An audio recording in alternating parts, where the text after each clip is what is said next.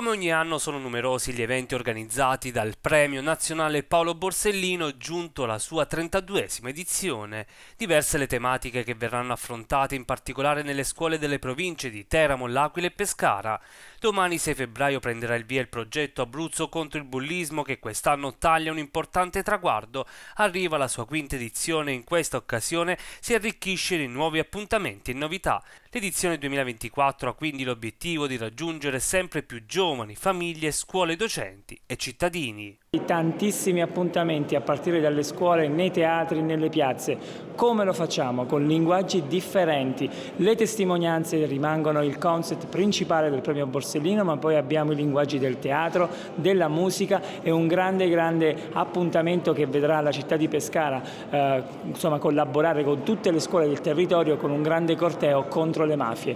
Eh, non dimentichiamo in ultimo le attività che il premio Borsellino ha già iniziato quest'anno con il ricordo della della Shoah con la memoria, ma assolutamente quello che vediamo anche qui e partirà nei prossimi giorni è l'appuntamento con il bullismo. Quindi ecco un parterre di tanti ospiti, di tante testimonianze, ma dove al centro sono e resteranno sempre i ragazzi. All'evento di presentazione ha preso parte anche il prefetto Vittorio Rizzi, da marzo 2019 vice direttore generale vicario del Dipartimento di Pubblica Sicurezza, direttore centrale della Polizia Criminale e vice capo vicario della Polizia di Stato, che da fine 2023 è diventato anche presidente del Premio Nazionale Paolo Borsellino. Io ho il privilegio di presiedere il, in questa edizione il premio Borsellino, do, ho dato il cambio al collega Luigi Savina e quindi un po' adesso si è creata questa eh, tradizione dei vicecapi della Polizia. Oggi in questo evento presenteremo le iniziative, soprattutto per la parte delle iniziative di legalità, il Pullman Azzurro, Una vita da social,